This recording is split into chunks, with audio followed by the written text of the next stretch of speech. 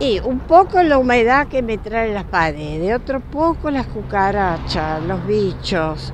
Aparte, miren lo que es la vereda, lo que es la vereda, el, el yuyal, la suciedad, entra gente. ¿Entra gente? Entra gente, si yo veo que entran pareja, que es asqueroso eso, se van allá atrás.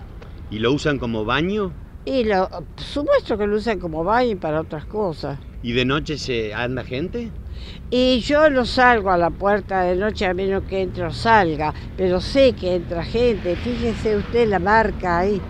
Fíjense. Sí, hay un, ¿Y usted se ha quejado? Me he quejado a la municipalidad, habré ido cuatro veces a donde uno puede hacer las quejas, qué sé yo. Que sí que se iban a tomar medidas.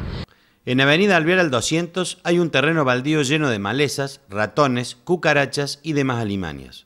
Además, los transeúntes utilizan el lugar para realizar ciertas acciones que a los vecinos les molestan. No pueden creer que en pleno centro exista un lugar en esas condiciones. Después pusieron esos caños que no sé para qué, entonces con eso aprovecha alguien para entrar a mi patio. Claro. Porque mire, se puede escalar tranquilamente. Yo cuando era más joven lo hubiera escalado.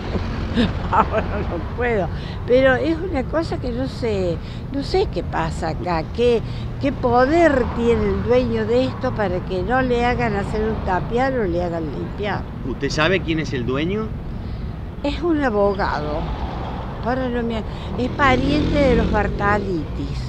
Está casado con una Bartaliti, no me acuerdo cómo es el apellido.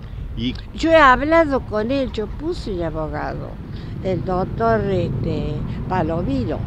El Palomino habló con él, dijo, sí, ya voy a solucionar, todavía estamos esperando. ¿Y qué le contestan en la municipalidad? Que ya van a mandar a ver. Hay una empleada que me atiende. ¿Y fue al defensor del pueblo? Sí, el defensor del pueblo vino. Él eh, actuó, vino, miró, dijo yo voy a hacer la denuncia. Quedó todo en la nada. El defensor del pueblo ha leído hace dos o tres años.